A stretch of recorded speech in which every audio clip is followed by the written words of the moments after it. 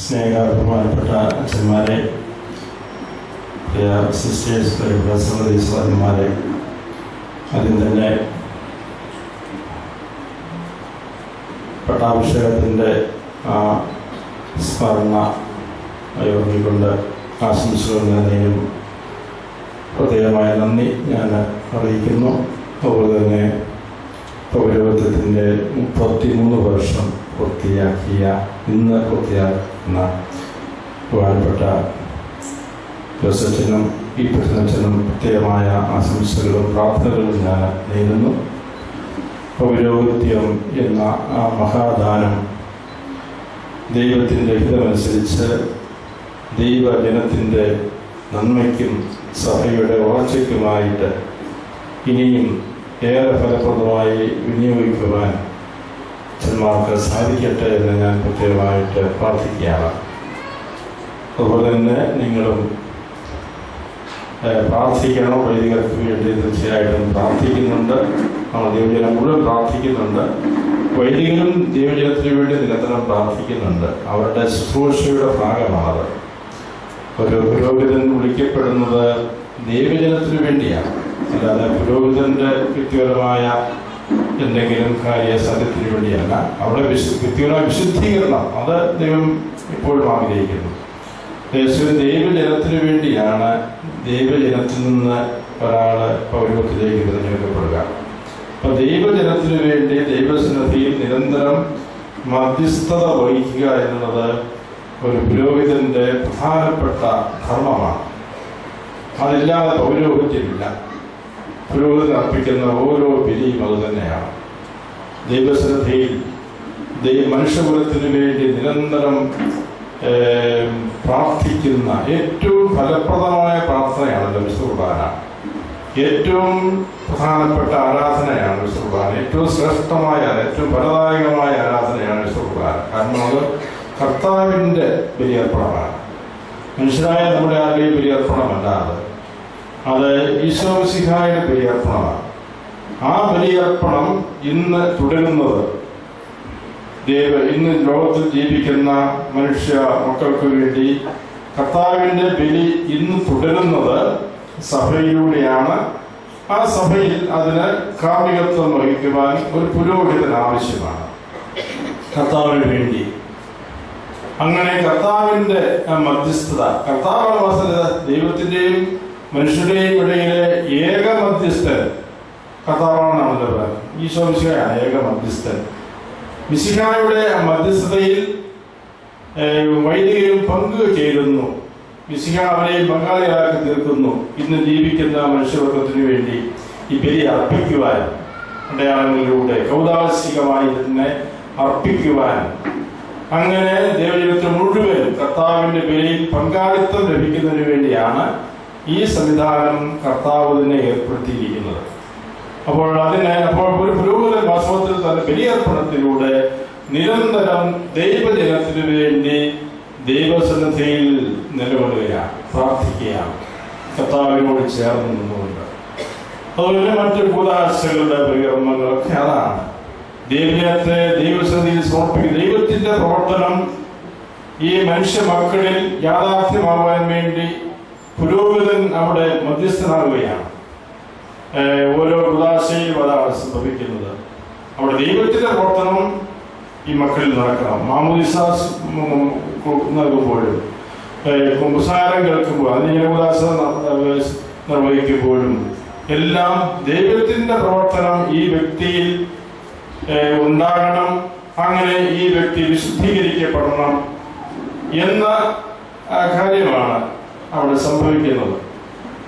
അതിനാണ് പുരോഗതിന്റെ സാന്നിധ്യം ആവശ്യമായി ഇതാണ് പുരോഗതിന്റെ മധ്യസ്ഥത എന്ന് പറയുന്നത്. അതുകൊണ്ട് ദൈവജനത്തിലൂടെ നിരന്തരം നിലകൊള്ളുന്ന ആളാണ് പുരോഹിതര് കുർബാനയിൽ എത്രയോ പ്രാവശ്യം പുരോഹിതൻ രഹസ്യമായിട്ടും പരസ്യമായിട്ടും പ്രാർത്ഥിക്കുന്നുണ്ട്. ജനങ്ങൾക്ക് കേൾക്കാൻ പറ്റുന്ന രീതിയിലും ജനങ്ങൾ കേൾക്കാത്ത രീതിയിലും ജനങ്ങൾക്ക് വേണ്ടി ആരാധനാ സമൂഹത്തിന് വേണ്ടി പുരോഹിതൻ പ്രാർത്ഥിക്കുന്നുണ്ട്. അതുകൊണ്ട് നിങ്ങൾ ഓർക്കണം ആ അച്ഛൻ പറഞ്ഞു അച്ഛന്മാർക്ക് നിങ്ങൾക്ക് വേണ്ടി പ്രാർത്ഥിക്കാതിരിക്കാൻ സാധിക്കില്ല. അവരുടെ ശുശ്രൂഷയുടെ ഭാഗമാണ്. അതുപോലെ നിങ്ങളും പുരോഹിതർക്ക് വേണ്ടി പ്രാർത്ഥിക്കണം. നിങ്ങളുടെ ഇടയിൽ നിന്നും ഒക്കെ ധാരാളം നല്ല വൈദികർ ഉണ്ടാകുവാൻ പ്രാർത്ഥി ദൈവം വിളിക്ക് വേണ്ടി പ്രാർത്ഥിക്കണം. കർത്താവിനെ കർത്താവ് ആവശ്യപ്പെട്ടിട്ടുള്ള കാര്യമാണ്. പ്രാർത്ഥന ആവശ്യ ദൈവം ഉണ്ടാകുവാൻ പ്രാർത്ഥന ആവശ്യമാണ്. നല്ല ദൈവടികൾ വിശുദ്ധരായ വേദികളെയും സന്യസ്തരെയും ഒക്കെ ലഭിക്കുന്നതിന് ദൈവജനത്തിന്റെ തീവ്രമായ തീഷ്ണമായ നിരന്തരമായ പ്രാർത്ഥനയും ആവശ്യമാണ്. അത് ഞാൻ ഈ അവസരത്തിൽ നിങ്ങളെ ഓർമ്മിപ്പിക്കുക. അങ്ങനെ നമ്മുടെയൊക്കെ നിങ്ങൾ മാതാപിതാക്കളുടെയൊക്കെ പ്രാർത്ഥന കൊണ്ടും ആഗ്രഹം കൊണ്ടും അവരുടെ നല്ല മാതൃകാപരമായ ജീവിതം കൊണ്ടും ഒക്കെയാണ് നമ്മുടെ സഭയിൽ കേരളത്തിൽ ഇത്രമാത്രം ദൈവവിളികൾ ഉണ്ടായിട്ടുള്ളത്. അതുകൊണ്ട് നിങ്ങളോട് ഈ കുടുംബജീവിതക്കാരോട് വളരെയധികം കടപ്പെട്ടിരിക്കുന്നു സഭ. മാതാപിതാക്കളോട് വളരെയേറെ കടപ്പെട്ടിരിക്കുന്നു. കാരണം മക്കൾക്ക് ദൈവവിളി ലഭിക്കുവാൻ പറ്റുന്ന രീതിയിൽ മക്കളെ വളർത്തുകയും കുടുംബ ജീവിതം കരുപ്പിടിപ്പിക്കുകയും ചെയ്തതുകൊണ്ടാണ് സഭയുമായുള്ള നല്ല ബന്ധത്തിൽ നല്ല വിശ്വാസ ജീവിതത്തിൽ പ്രാർത്ഥനാ ചൈതന്യത്തിൽ ഒക്കെ കുടുംബങ്ങൾ ജീവിക്കുന്നത് കൊണ്ടാണ് കുടുംബങ്ങളിൽ നിന്ന് ദൈവങ്ങൾ ഉണ്ടാകുന്നത്. അത് കുറഞ്ഞു പോകരുത്. കുറഞ്ഞു പോകുന്നുണ്ടെങ്കിൽ അതിന്റെ അർത്ഥം നമ്മുടെ കുടുംബ ജീവിതത്തിൽ തകർച്ചകൾ സംഭവിക്കുന്നു എന്നുള്ളതാണ്. ദൈവങ്ങൾ കുറയുന്നുണ്ടെങ്കിൽ ഇതിന്റെ കാരണം. അതുകൊണ്ട് പ്രിയപ്പെട്ട സഹോദരങ്ങളെ നിങ്ങൾ കുടുംബജീവിതക്കാരായ നിങ്ങളുടെ വലിയ ഉത്തരവാദിത്വമാണ് നിങ്ങളുടെ കുടുംബങ്ങളിൽ നിന്ന് നല്ല ദൈവവിളികൾ മുളയെടുക്കുക എന്നുള്ളത്. അതിന് അനുകൂലമായ സാഹചര്യം സൃഷ്ടിക്കുക. ഞാൻ ഇവിടെ ഈ കണ്ടീവികാരനെ കൺവെൻഷനോട് നടക്കുകയാണ് എൻ സി ബി എസ് ന്യാസ സമൂഹമാണെന്റെ നേതൃത്വത്തിൽ ഇവിടെ ആരംഭിച്ചിരിക്കുന്ന അതിന്റെ ഈ സന്യാസ പ്രസ്ഥാനത്തിന്റെ ഈറ്റില്ലമായിട്ടാണ് ഇത് മലപ്പള്ളി കണക്കാക്കുക ചരിത്രത്തിൽ അങ്ങനെയാണ് സൂചിച്ചത് ഇവിടെയാണ് ആരംഭം കുറിച്ചത്. അങ്ങനെ ഇവിടെ ഈ സന്യാസ ജീവിതത്തിന് ഈ വിളിക്ക് ചേർന്ന രീതിയിൽ ഈ സന്യാസ സമൂഹത്തിന്റെ ഏ, കാര്യശത്തിന് സിദ്ധിക്ക് ചേർന്ന രീതിയിലുള്ള ഒരു പ്രവർത്തനമാണ് ശുശ്രൂഷയാണിത്. കാരണം എലിസബിയസ് ദിവികാരണ്യ മിഷണറി സമൂഹമാണ്. സുർബാനയെ കേന്ദ്രീകരിച്ച് വിശുദ്ധ കുർബാന അധിഷ്ഠിതമായി ദൈവജനത്തെ രൂപപ്പെടുത്തുവാൻ ശ്രമിക്കുക എന്നുള്ളതാണ് അതിനുവേണ്ടി സ്വയം സമർപ്പിക്കുക എന്നുള്ളതാണ് ഈ മിഷണറി സന്യാസ സമൂഹത്തിന്റെ പ്രധാനപ്പെട്ട ദൗത്യം. അതാണ് അവർ ഏറ്റെടുത്തിരിക്കുന്ന ദൗത്യം അതാണ്. ദൈവകൃപയിൽ സഭയും തമ്മിലുള്ള ബന്ധം. കുർബാന ഇല്ലെങ്കിൽ സഭയില്ല. വിശുദ്ധ ജോർമോടുണ്ടാവൻ മപ്പാപ്പ ഒരു സൈനിക പ്രബോധനം പ്രസിദ്ധീകരിക്കുകയുണ്ടായി. അതിന്റെ പേര് വിശ്വ സഭ വിശ്വ കുർബാനയിൽ നിന്ന് എന്നാണ്. മലയാളത്തിൽ പരിഭാഷപ്പെടുത്തുവാണെങ്കിൽ സഭ വിശുദ്ധ കുർബാനയിൽ നിന്ന് എന്നാണ് ആ- ആ പ്രബോധനത്തിന്റെ തലക്കെട്ട്. എന്ന് പറഞ്ഞാൽ വിശുദ്ധ കുർബാനയിൽ നിന്ന് സഭ ജന്മം കൊള്ളുന്നു എന്നാണ് അതിന്റെ സഭ ജന്മം കൊള്ളുന്നതും നിലനിൽക്കുന്നതും വളരുന്നതുമെല്ലാം വിശുദ്ധ കുർബാനയിലാണ്. അപ്പോൾ സഭ എന്ന് പറയുന്നത് ഒരു കുബാന സമൂഹമാണ്. ഒരു ദിവികാരണ്യ സമൂഹമാണ് കുർബാന എന്ന് പറയുന്നത്. ഈ വിശ്വകുർബാന ഇങ്ങനെയാണ് സഭ നമ്മൾ പറയുന്നത് ഈശോയിലെ സഭയുടെ സ്ഥാപകൻ നമ്മൾ പറയാറ്. ഈശോയിലെ സഭയുടെ സ്ഥാപകൻ. അതുകൊണ്ട് തന്നെയാണ് വിശ്വകുർബാനയിൽ നിന്ന് സഭ ജന്മങ്ങളെന്ന് പറയുന്നത്. കാരണം വിശ്വകുർബാനയാണ് ഈശോ. ഈശോ കുബാനയായിട്ട് നമുക്ക് ജീവന്റെ അപ്പമായിട്ട് ലോകത്തിലേക്ക് വന്നു. നമ്മൾ ക്രിസ്മസിന് ഈശോയുടെ വംശാവതാര സംഭവം അനുസ്മരിക്കുക ആഘോഷിക്കാൻ ഒരുങ്ങുകയാണല്ലോ. ഈശോ മനുഷ്യ മനുഷ്യന്റെ അപ്പമായിട്ടാണ് ലോകത്തിലേക്ക് വന്നത്. അവിടുന്ന് പഠിപ്പിക്കുകയുണ്ടായി. ഞാൻ സ്വർഗത്തിൽ നിന്നും ഇറങ്ങി വന്ന ജീവനുള്ള അപ്പമാകുന്നു.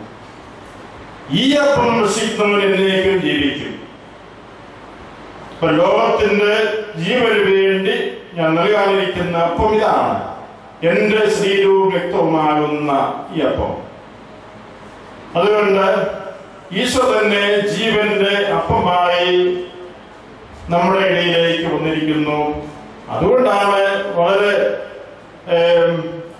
ഈശോ വന്ന് പിറന്ന് കിടന്നത് എവിടെയാണ്? കാര്യത്തൊഴുത്തിലാണ്.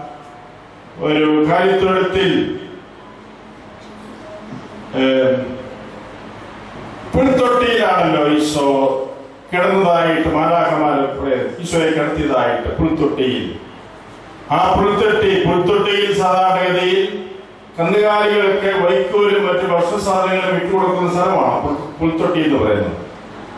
ആ പുൽത്തൊട്ടിയിലാണ് ഈശോ പറഞ്ഞു കഴിഞ്ഞ് ഈശോയെ കിടത്തിയത്. പിള്ള കച്ചകൾക്കുണ്ട് പൊതിഞ്ഞ് ഈശോയെ കിടത്തിയത് ആ പുൽത്തൊട്ടിയിലാണ്. അത് വളരെ പ്രതീകാത്മകമായ ഒന്ന് തന്നെയാണ്. യഥാർത്ഥത്തിൽ ഈശോ ആഹാരമായിട്ടാണ് ഇവിടെ വന്നിരിക്കുന്നത്. പുൽത്തൊട്ടി കാര്യത്തൊഴുത്തിലെ പുൽത്തൊട്ടിൽ വൈക്കോലും മറ്റും കന്നുകാലികൾക്കുള്ള പ്രശ്നമാണ്. പക്ഷെ ഇവിടെ ഈശോ തന്നെ ആ വൈക്കോലിന്റെ സ്ഥാനത്ത് വന്ന് കിടക്കുകയാണ്. അത് മനുഷ്യകുലത്തിന് വേണ്ടി മനുഷ്യകുലത്തിന് വേണ്ടി മനുഷ്യകുലത്തിന്റെ ജീവന്റെ അപ്പമായിട്ട് ഈശോ ഇവിടെ വന്നിരിക്കുന്നു എന്ന് അത് സൂചിപ്പിക്കുകയാണ്. അപ്പോൾ ഈ ഈശോ ജീവന്റെ അപ്പമാണ് ഈ അപ്പം ഭക്ഷിക്കുന്നില്ലെങ്കിൽ നിങ്ങൾ ജീവനില്ല. എന്നാണ് ഈശോ പറഞ്ഞിരിക്കുന്നത്. അതുകൊണ്ടാണ് സഭ ഈ അപ്പം ഭക്ഷിച്ച് ജീവൻ ലഭിച്ച് വളരുന്ന സമൂഹമാണ് സഭ. ക്രൈസ്തവ സമൂഹം അതാണ് അതുകൊണ്ട് സഭ ജന്മം കൊള്ളുന്നത്. ഈ സുബാനയിൽ നിന്നാണ് അത് മിശിഹായിൽ നിന്ന് തന്നെയാണ്. മിശിഹായിൽ നിന്ന് സഭ കൊടുക്കും അത് ഇതിന്റെ അർത്ഥം. പഠിപ്പിക്കുന്നുണ്ട്. ഈശോയുടെ തിരുവിലാവിൽ നിന്ന് സഭ ജന്മം കൊണ്ടുവരുന്ന ഈശോയുടെ തിരുവിലാവിൽ നിന്ന് ഈശോ കുരിശിൽ കിടന്ന് മരണശേഷം ഈശോ തിരുവിടാവ് കുന്നം കൊണ്ട് കുത്തിപ്പിളക്കുന്ന സംഭവം ഉണ്ടല്ലോ അപ്പോൾ ആ തിരുവിടാവിൽ നിന്ന് ജലവും രക്തവും പുറപ്പെട്ടു എന്ന് രേഖപ്പെടുത്തിയിട്ടുണ്ട്. ജലവും രക്തവും. അത് മാമോദി അത് ഈശ്വര അത് സഭയാണ് സൂചിപ്പിക്കുക ആ ജലവും രക്തവും അവിടെ സഭ ജന്മം കൊള്ളുകയാണ്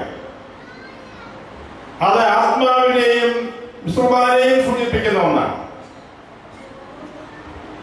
അപ്പോൾ ഈശോയുടെ പാർശ്വത്തിൽ നിന്ന് ഇവിടെ സഭ ജന്മം കൊണ്ടിരിക്കുക. നമുക്കറിയാം പ്രദേശ ആദ്യത്തെ മനുഷ്യൻ ആദം.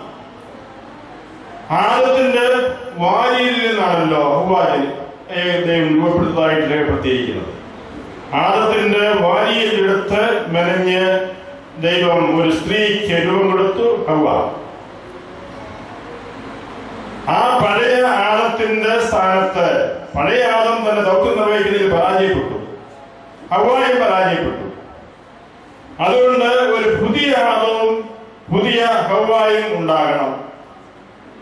ആ പുതിയ ആദമാണ് ഈശോ പഴയ ആദ്യത്തെ ആദ്യത്തെ ആദത്തിന്റെ പാർശ്വത്തിൽ നിന്ന് ഭാര്യയിൽ നിന്ന് ഹവ ഉണ്ടായതുപോലെ ഇവിടെ പുതിയ ആദമായ ഈശോയുടെ പാർശ്വത്തിൽ നിന്ന് സഭയാകുന്ന ഹൗവ ജനിക്കുക.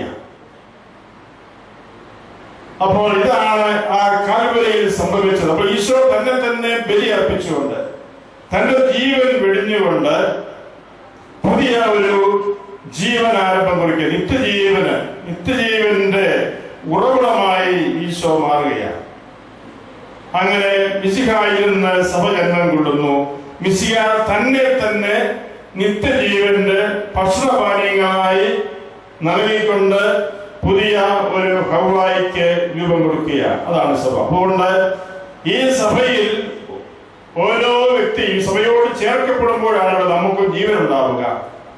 മാമോദീസായിൽ നമ്മൾ ഈ സഭയോട് ചേർക്കപ്പെടുന്നു.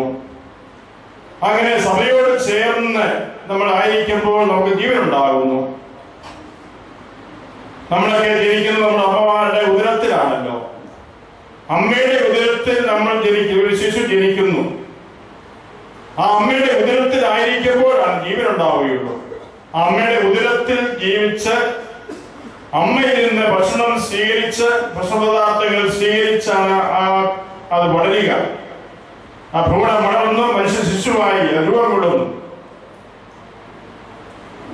അപ്പൊ അമ്മയുമായുള്ള ബന്ധം അതിന് ജീവൻ ആവശ്യമാണ്. അതാണ് പൊക്കക്കുടിയിലൂടെ അമ്മയുമായി ബന്ധ ബന്ധിക്കപ്പെട്ടിരിക്കുന്നു ആ ശിശു ഉദരത്തിൽ ആ ബന്ധം വിച്ഛേദിക്കുമ്പോൾ അവിടെ ശിശുവിന്റെ ജീവൻ ഇല്ലാതായിത്തീരുന്നു. സഭ നമുക്ക് അമ്മയാണ്. ഈ അമ്മയുടെ ഗർഭപാത്രത്തിലാണ് നമ്മൾ ജനിക്കുന്നത്. ക്രൈസ്തവരായി ജനിക്കുന്നത് ദൈവമക്കളായി ജനിക്കുന്നത് ഈ അമ്മയുടെ ഉദരത്തിലാണ്. അത് കുറാശകളിലൂടെയാണ് മാമോദേശയിലൂടെയാണ് അമ്മയുമായുള്ള ബന്ധത്തിലേക്ക് നമ്മൾ പ്രവേശിക്കുക. അവിടെ പുതിയ ജന്മം നമ്മൾ ജന്മം കൊള്ളുകയാണ്.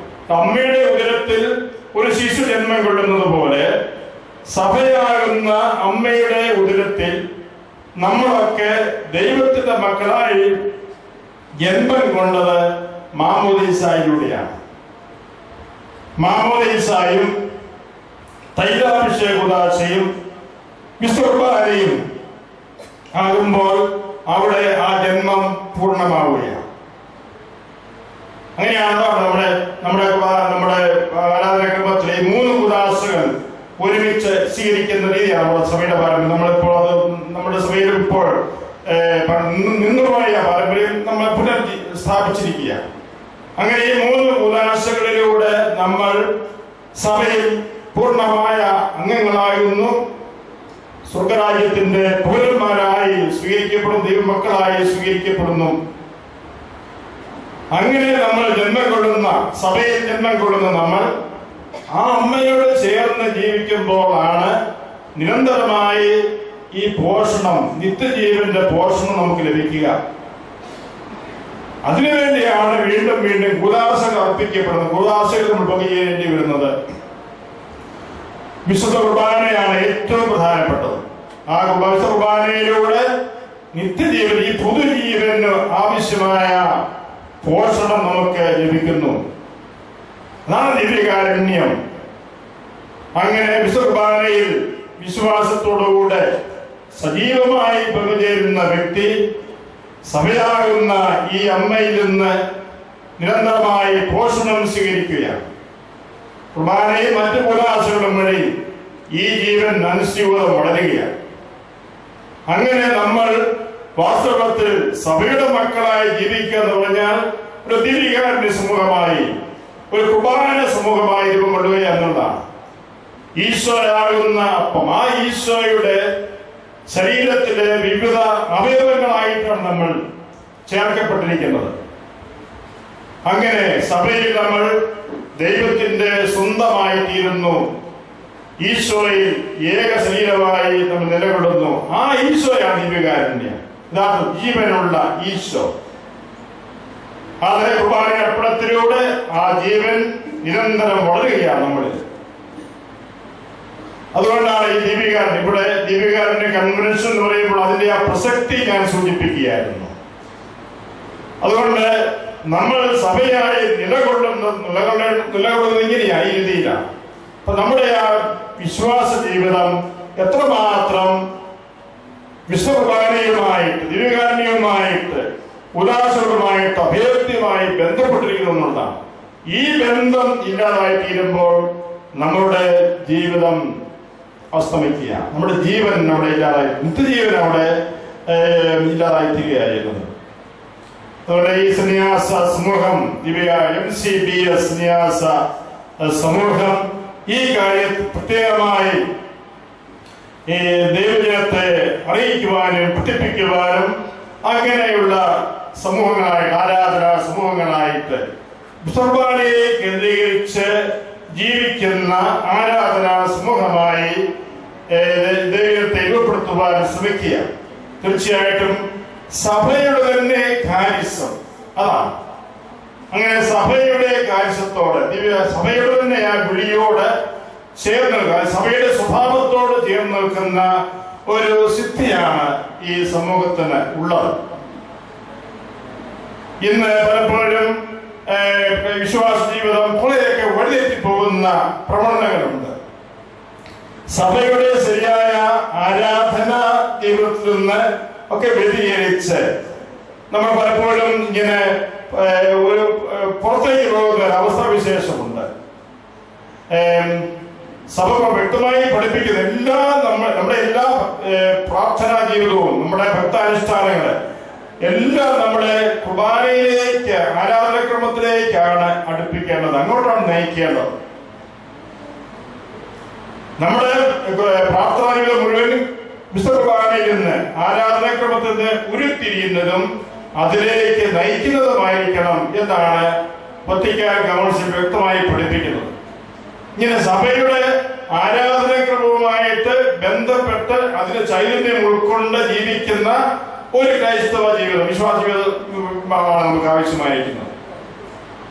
ഇന്ന് ഒത്തിരി ഭക്താനുഷ്ഠാനങ്ങളുണ്ട്. ഭക്ത ഭക്താനുഷ്ഠാനങ്ങൾ അതിനുവേണ്ടി മാത്രമുള്ളതല്ല. അത് എത്രമാത്രം കുർബാനയിലേക്ക് സഭയുടെ കൗതാസിക ജീവിതത്തിലേക്ക് ഒരു വ്യക്തിയെ ആനയിക്കുന്നുണ്ട് അതനുസരിച്ചാണ് ആ ഭക്താനുഷ്ഠാനങ്ങൾക്ക് പ്രസക്തിയും പ്രാധാന്യവും ഉള്ളൂ അങ്ങനെയുള്ളൊരു വിശ്വാസമുഖമാകണം നമ്മൾ. ചിലപ്പോഴൊക്കെ ആളുകൾ ചില ഭക്താനുഷ്ഠാനങ്ങൾ പുറകെ പോകുന്നുണ്ട്. പല നൊവേനകൾ അതുപോലെ കുർബാനയെ സംബന്ധിക്കുന്നതിനേക്കാൾ അത് അത് കുർബാനയെ സംബന്ധിച്ച് തുകയും നൊവേനകൾ പങ്കെടുത്താൽ മതി എന്നുള്ള ചിന്താഗതി ചിലപ്പോൾ ചിലപ്പോൾ ഉണ്ടാറുണ്ട് അത് തെറ്റായ ഒരു മനോഭാവമാണ്. അതുകൊണ്ട് നമ്മുടെ നവീനകളും മറ്റു ഭക്താനുഷ്ഠാനങ്ങളും ഒക്കെ ഇതിലേക്കാണ് ആനയിക്കേണ്ടത് അപ്പോൾ ഈ കുർബാനയിലുള്ള വിശ്വാസം ഇതാണ് ഏറ്റവും വലിയ ബുദ്ധിമുട്ട് മനസ്സിലാക്കുവാനായിട്ട്. ഈശോ തന്നെ തന്റെ ഇതേക്കുറിച്ച് പറഞ്ഞപ്പോൾ "എൻ- ഇതെന്റെ ശരീരമാകുന്നു. ഞാൻ സാക്ഷാൽ ഭക്ഷണമാണ്. എന്റെ ശരീരം സാക്ഷാൽ ഭക്ഷണമാണ്. എന്റെ രക്തം സാക്ഷാൽ പാനീയമാണ്. നിങ്ങൾ ഇത് ഭക്ഷിക്കുകയും പറയുകയും ചെയ്യുന്നില്ലെങ്കിൽ നിങ്ങൾ ജീവനുണ്ടാവുകയില്ല. എന്ന് പറഞ്ഞപ്പോൾ ശിഷ്യന്മാരൊഴിച്ച് ബാക്കി എല്ലാവരും ഈശോയെ വിറ്റുപിരിഞ്ഞു പോയി. ഇതെങ്ങനെ ഞങ്ങൾക്ക് വിശ്വസിക്കാൻ സാധിക്കും? ഇത് അഗ്രാഹ്യമാണ്. ഇത് ഞങ്ങൾക്ക് മനസ്സിലാക്കാൻ സാധിക്കുന്നില്ല. എന്ന് പറഞ്ഞുകൊണ്ട് അവർ ഈശോയെ വിട്ടുപിരിഞ്ഞു പോവുക എങ്കിലും ഈശോ വാക്ക് മാറ്റിയില്ല. നിങ്ങൾ എന്റെ ശരീരം ഭക്ഷിക്കുന്നില്ലെങ്കിൽ നിങ്ങൾക്ക് ജീവനുണ്ടാവുകയില്ല. അതുകൊണ്ട് പ്രിയപ്പെട്ടവരെ ക്രൈസ്തവ വിശ്വാസത്തിന്റെ കേന്ദ്രം ഇതാ. ഈ കുർബാനയും കുർബാനയുള്ള വിശ്വാസമാണ്. അത് ദൈവത്തിലുള്ള വിശ്വാസമാണ്. ത്രിത്വയ ദൈവത്തിലുള്ള വിശ്വാസമാണ്. കാരണം പിതാവും പുത്രനും പരിശുദ്ധാത്മാവും ഒരുമിച്ച് ഒന്നായിരിക്കുന്ന ആ ദൈവത്തിന്റെ സാന്നിധ്യമാണ് കുർബാനയിൽ നമുക്ക് ലഭ്യമാകുന്നത്. അതുകൊണ്ട് കുർബാനയെ കേന്ദ്രീകരിച്ചുള്ള ഒരു ജീവിത ശൈലി വിശ്വാസികൾ ശൈലിയാണ് നമ്മൾ വളർത്തിയെടുക്കേണ്ടത്. അപ്പോൾ നമ്മുടെ പ്രാർത്ഥനാ ജീവിതം കറതീർന്നതായിരിക്കും അത് ശരിയായ ദിശയിലുമായിരിക്കും. അങ്ങനെയുള്ള വിശ്വാസി സമൂഹങ്ങൾക്ക് ജീവിത ശൈലിക്ക് ആഴമായ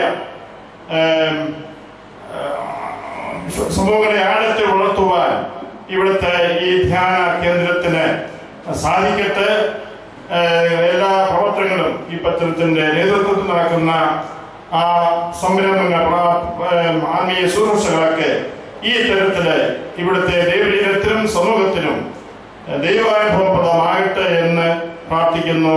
ക്രിസ്മസിന്റെ നിങ്ങൾ ആശംസകൾ നേർന്നുകൊണ്ട് ഞാൻ വാക്കുകൾ നന്ദി.